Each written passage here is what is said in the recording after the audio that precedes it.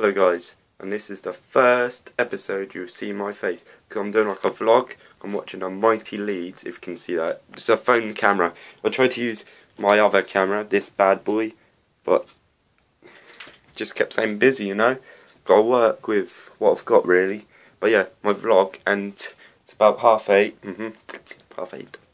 And yeah, basically, a vlog. I'll record myself as much as possible in and out the game, going to the game, going to Brentford. And yeah, I've never been to Griffin Park, so I'm not expecting, don't know what to expect basically.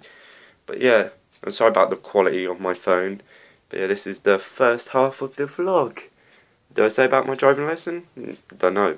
Yeah, I've got a driving lesson half ten, catching a train at like one.